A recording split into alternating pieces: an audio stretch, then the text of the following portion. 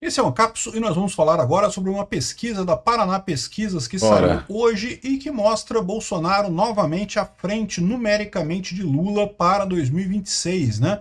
Vamos entender essa pesquisa aqui, porque também tem outras coisas importantes aqui. Ele está numericamente à frente, mas tecnicamente empatado. Com... A propósito, o Paraná Pesquisas foi aquele que acertou em 2018, né? Eleição do Bolsonaro, junto com o nosso canal, né? Mas enfim. Vamos lá, vamos lá. Com Lula, né? E sem Bolsonaro, se tirar Bolsonaro por estar inelegível e coisa e tal, o melhor nome que a direita tem para enfrentar o Lula neste momento é a Michele Bolsonaro. Olha que coisa, é o que eu falo para vocês, eu acho que é muito mais do que isso. A Michelle é muito uma, uma carta muito mais valiosa para a direita do que o pessoal tem conta aqui só pela, pelas pesquisas que ela tem, né? Enfim, vamos falar sobre esse assunto. Sem Essa dúvida. notícia foi sugerida por Tigresa VIP, Saci de Três Pernas, eu de novo e várias outras pessoas. Obrigado aí ao pessoal que sugeriu notícias lá no nosso site, no visãolibertária.com. E obrigado a você que está assistindo o nosso vídeo. Se você gosta do nosso conteúdo, por favor, deixe o seu like, se inscreva aqui no canal, né? Olha só, em nova pesquisa da Paraná Pesquisas divulgada agorinha, agorinha, é, o Bolsonaro aparece numericamente à frente de Lula. Né? Agorinha, eu digo hoje, dia 22 de agosto de 2024. Não é que eu esqueço que esses vídeos eu estou lançando agora, mas pode ser visto daqui a alguns dias. Né? Então, saiu hoje, dia 22 de agosto, essa pesquisa. E ela inverte de novo, né? Porque Vocês estão lembra, vendo isso tá, em outro dia, tá mostrando Lula e Bolsonaro ali, uma hora um está numericamente na frente, outro na, na frente, os dois sempre empatados Tecnicamente, aqui ó, o levantamento realizado pelo Instituto Paraná Pesquisas, dias 14 e 18 de agosto, Bolsonaro, que está inelegível, aparece com 37,4% das intenções de voto, enquanto Lula tem 36,3%. Então, ou seja, ele estaria na frente, mas com uma margem de erro é 2,2 pontos percentuais, é um empate técnico. Né? É, é, no levantamento feito em julho, apontavam também Bolsonaro e Lula tecnicamente empatados, o petista, porém, aparecia numericamente à frente de Bolsonaro. O que ele não está falando aqui é que na anterior o Bolsonaro estava na frente. Ou seja, elas, eles estão alternando Lula e Bolsonaro, um na frente na, na hora do outro, é, mas ainda numericamente empatados nisso daqui. Né? E lógico, a gente tem que tomar essas pesquisas com algum cuidado, porque a gente está em 2024 ainda, faltam dois anos, isso é muito longe para dar algum, algum resultado. Né? A pesquisa começa a ter alguma coisa de realidade lá em julho, as pesquisas da eleição deste ano começam a ter validade agora, pertinho da eleição. Para 2026, a gente nem sabe se Bolsonaro vai concorrer, a gente não sabe quem é que vai estar na, na disputa. Aqui, ó, botaram aqui Bolsonaro, Lula, Ciro Gomes, Simone Tebet, Eduardo Leite, mas será que vão ser esses mesmos candidatos? E mudando esses candidatos, o que, que muda né, para 2026? Né? Então, essa é a história. Ainda está muito longe para apontar alguma coisa com certeza para lá. Agora, isso mostra uma coisa, né? Bolsonaro continua sendo um nome muito forte. Aquela ideia que o pessoal tinha de que não, que Bolsonaro é um fenômeno passageiro, que não, eles achavam isso na eleição de 2018, tá? Eles achavam que Bolsonaro só ganhou a eleição por causa da facada, porque se não fosse a facada ele iria cair. Mentira, né? O, o, o movimento Bolsonaro, o apoio Bolsonaro que você vê na base é muito mais forte do que isso. Bolsonaro já era o candidato preferido naquela eleição e ganhou a eleição. E lembra de novo, né? O pessoal do PSDB lá do Dória, todo, não vamos apoiar Bolsonaro, porque Bolsonaro vai acabar caindo, e aí a gente aproveita e coisa e tal. E não, Bolsonaro não caiu, ao contrário, continua tendo muito apoio, apesar de sistematicamente sabotado pelo STF já desde o primeiro ano de governo né, que impediu ele de fazer decretos sobre questão de armas e coisa e tal, um monte de sabotagem, porque é sabotagem isso, né? É direito do presidente fazer esses decretos, tanto que o Lula fez e o STF não implicou com o decreto do Lula, por quê? Porque vai no sentido que a esquerda quer, que é limitar o uso de tá. armas, limitar o acesso a armas. Só que esse, essa questão de uso de armas é uma questão para ser decidida pela sociedade brasileira, não é justiça. Não tem direito aí que, que é, diga que não pode ter arma e coisa e tal. O STF falou literalmente isso, diz que o, o direito à segurança pública diz que as pessoas não podem ter arma. Mas que lógica tem isso, cara? Não tem lógica nenhuma isso daí. Quem está no interior do, do, do, país, no interior do mato, que se não tiver uma arma, meu amigo, vai fazer o quê? Ligar para a polícia?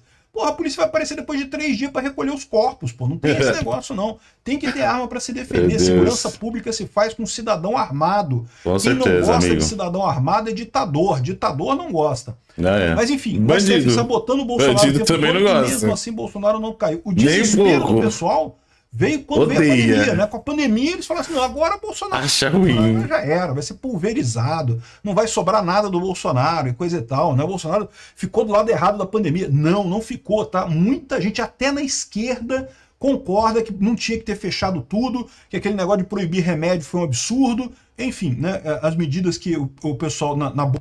É por questões legais do YouTube, as opiniões do canal Cápsula não necessariamente correspondem às do canal, tá? Cheque o Ministério da Saúde, seu médico, para mais informações. Oliazinha da esquerda, ele achava Foda, que eram medidas preso. que tem que tomar, tem que não por essa burrice. trabalhar mesmo, não sei o que lá, né? No final, achavam que isso ia derrubar Bolsonaro, não derrubou o Dória. O Dória, que foi a grande vedete dessas. Sim!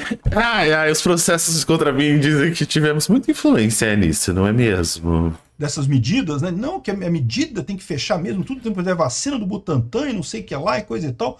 Cadê o Dória? Abandonou a política e nunca mais volta. E virou um sujeito na política, né? Leproso radioativo. Se alguém chegar perto dele, meu amigo, o cara perde voto. Chegou perto do Dória, perde voto. É impressionante. O mundo dá volta, então, seja, é, é, isso mostra que o mundo dá volta. seguia por, é, é, por quem que o pessoal Tenha manda paciência. deixa de mandar. Né? Nesse momento, você está num momento de dificuldade, se você pensa que o mundo está contra você, que as coisas vão ser assim para sempre, mano Ditando que o pai tá falando, tá? O mundo dá volta, ele capota. Tá, ele capota. O povo seguia porque tem ideais Porta. parecidos com o Bolsonaro. O fenômeno Bolsonaro é um fenômeno de baixo para cima, não é um fenômeno de cima para baixo, como esse pessoal. Sempre falamos isso. Obrigado, Carlos. O pessoal tá acostumado. Tem toda razão. Né? Então é importante ver que o Bolsonaro continua tão relevante. Assistir do Zap que manda, não, não, quando a gente tirar Bolsonaro do poder, aí acaba. Aí, aí o Bolsonaro acabou. Sem ter dinheiro do governo, como é que, quem, que, que, que Bolsonaro vai ter de apoio? De novo, tiraram o Bolsonaro e nada. Bolsonaro continua tendo muito apoio. Não, vamos tornar ele inelegível. Fizeram o processo mais rápido da história do TSE. Pode procurar, não tem nenhum processo de inelegibilidade mais rápido do que ah, o processo de inelegibilidade do, do, do, Bolsonaro. O fato aconteceu em julho de 2022. No, em meados de 2023 ele já estava inelegível. Uma rapidez que, não, que não, é, não é compatível com uma boa justiça. Tá? A justiça, a gente quer uma justiça mais rápida? Sim, é lógico, mas não uma justiça que corta caminho, que tem atalho. Né? Você pode pegar qualquer processo de inelegibilidade no TSE, é 4, 5 anos para sair inelegibilidade da pessoa. Bolsonaro foi assim, vapt-vupt, tudo rápido e não sei o que lá. Ah, mas ah, tem um precedente que diz que só pode tornar inelegível se comprovar que o abuso de poder político influiu na eleição. Como que uma reunião com embaixadores ia influir na eleição. Não faz sentido nenhum isso, né? No entanto, passaram por cima tratoraram toda a jurisprudência do TSE para tornar Bolsonaro inelegível. Por quê? Não, agora que a gente vai tomar, tornar Bolsonaro inelegível, aí a população vai voltar a gostar do PSDB, vai voltar a amar a Joyce Hasselman, vai ah, voltar vai. a amar o Alexandre Frota, vai voltar a gostar do Dória, né? Eles só não gostam do Dória. Nem para DJ serve o Alexandre Frota, mano. Não, a população, inclusive os bolsonaristas, tomam a decisão de baixo para cima. É porque o pessoal vê o Bolsonaro bons DJs, mas ele não é o melhor caminho, o cara que mais representa os anseios da sociedade. E a prova de que isso não é um movimento de cima para baixo é justamente a questão do Marçal e do Nunes lá em São Paulo. Né, eu vou falar sobre isso num outro vídeo, mas saiu também uma pesquisa agora que o Nunes e o Marçal estão empatados, agora está um empate triplo em São Paulo. Nunes, Marçal e Bolos em primeiro lugar lá em São Paulo, né? E é uma pesquisa do Datafolha, eu não confio muito no Databolha, ou, desculpa, Datafolha, mas Data no final das contas eu vejo que é meio isso que está acontecendo. De fato, o Marçal está crescendo nas intenções de voto, apesar do Bolsonaro reafirmar uh, uh, o apoio ao Nunes e inclusive brigar com o Marçal, tá uma briga muito grande aí, mas eu vou falar sobre isso no outro vídeo, né? Enfim, é, é, é o fato é que, ao contrário do que esse pessoal pensa, o apoio ao Bolsonaro é o apoio ideológico, é que as pessoas têm as ideias, percebem que ele tem é o melhor é, caminho dessas ideias até a presidência da República e por isso apoiam o Bolsonaro. E aí fica essa coisa toda de vamos tacar coisa no Bolsonaro para ver se ele cai, né?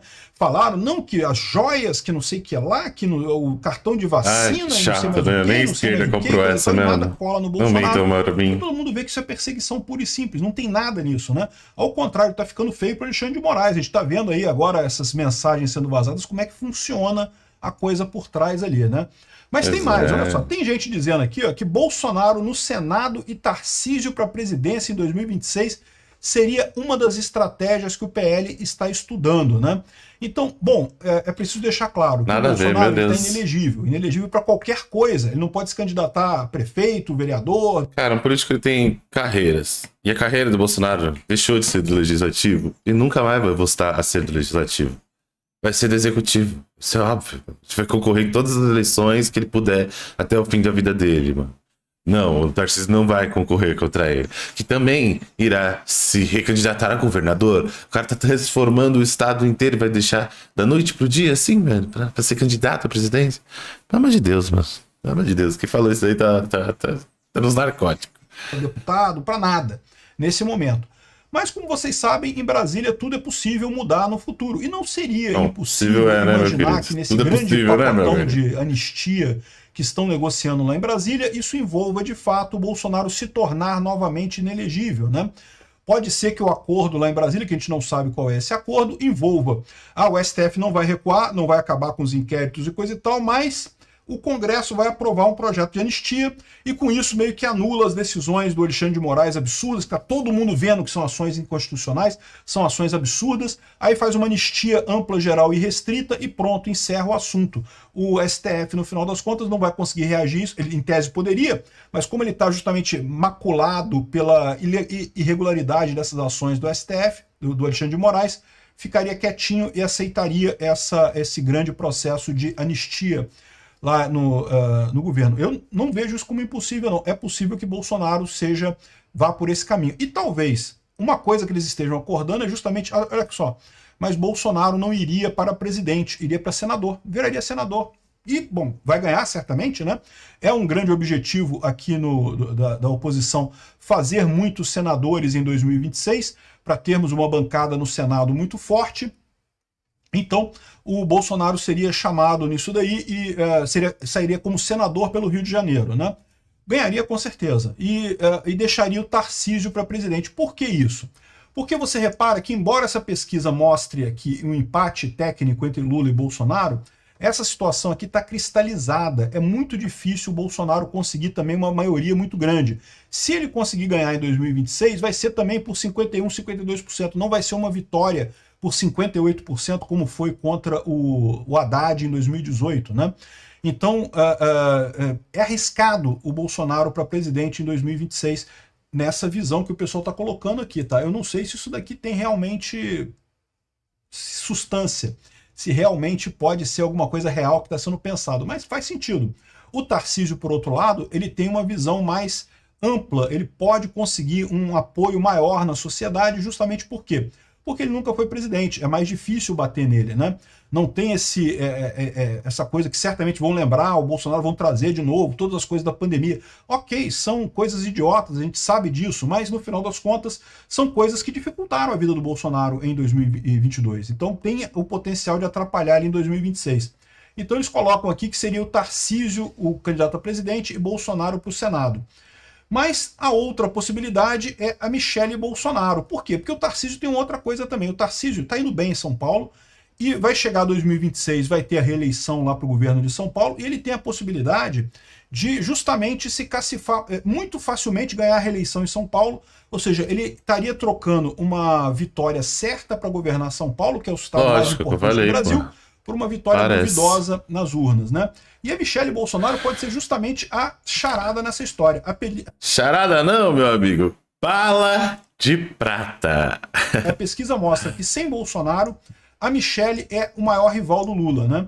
Então o pessoal coloca aqui que a primeira-dama, a Michelle Bolsonaro, é, conseguiria, é, ainda ficaria atrás do Lula, tá? Aqui, ó, o cenário 2. Lula e Michelle.